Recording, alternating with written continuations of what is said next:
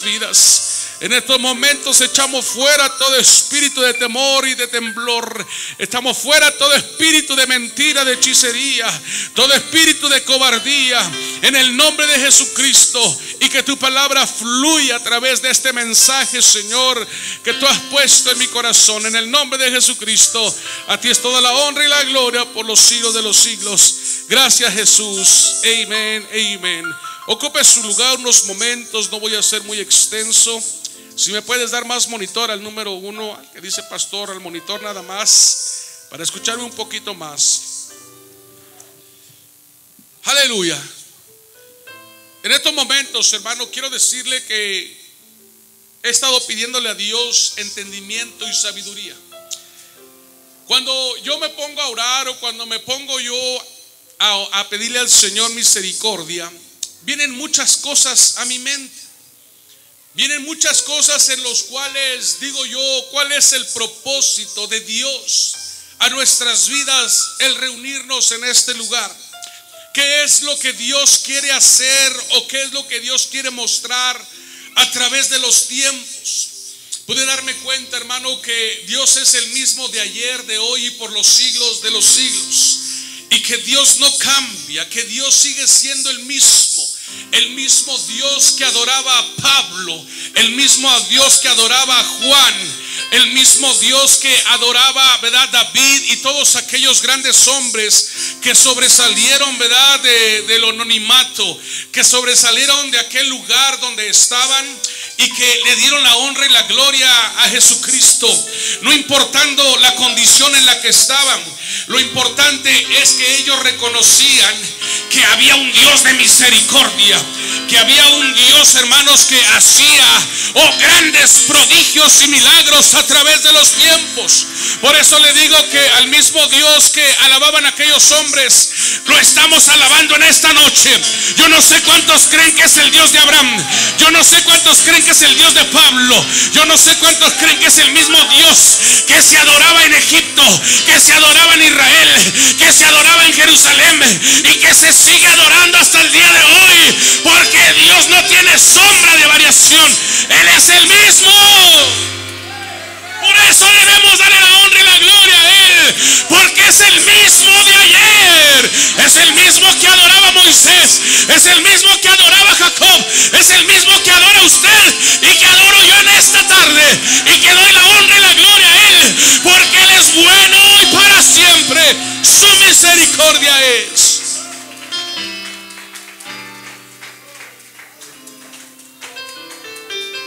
En el libro de Filipenses, hermano, nuestro hermano Pablo hace referencia de una cosa importante. Sabía que Filipenses fue uno de los segundos viajes que tomó Pablo para ir a anunciar el Evangelio de Cristo. Y cuando Pablo llega a ese lugar se da cuenta que estaba inundado de romanos. En otras palabras, había mucho fariismo, había mucha idolatría, había tantas cosas que Pablo dijo, no importando al quien adoren o no importando la situación en donde estoy, lo importante es que vengo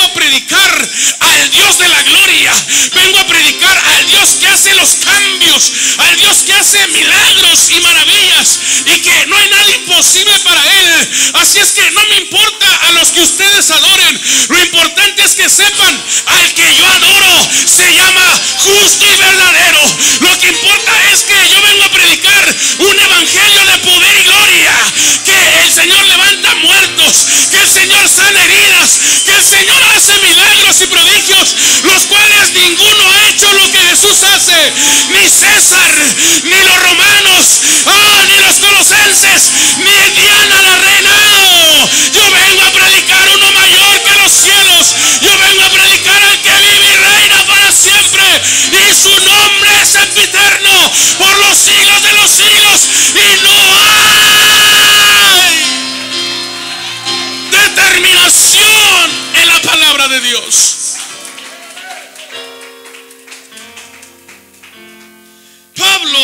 esta situación les predica a los que una vez creyeron y entendieron que había un Dios verdadero, que no había un Dios falso, que no era un Dios mentiroso, sino que ellos entendieron que el Dios que predicaba Pablo tenía poder y autoridad, porque dice la palabra que tan solo con escuchar la palabra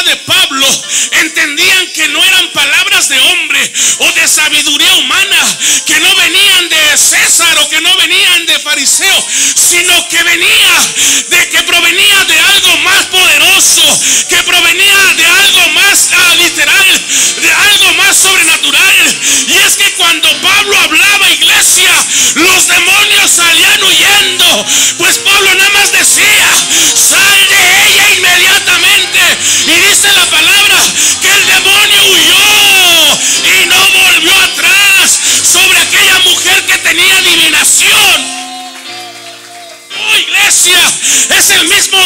venimos a adorar en esta tarde. Dice su palabra, si tan solo crees en mi nombre, cualquier cosa que pidas será hecho. ¿Cuántos lo creen, iglesia? Si usted viene cansado, dígale, se me ha ido el cansancio. Si usted viene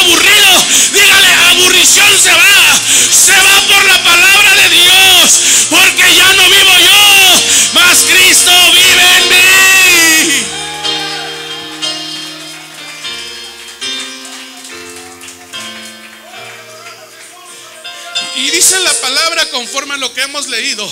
Por tanto, si alguna consolación en Cristo, si algún consuelo de amor, si alguna comunión del Espíritu, si algún efecto entrañable, si alguna misericordia, completad mi gozo, sintiendo lo mismo que yo, teniendo el mismo amor, unánimes, sintiendo una misma cosa.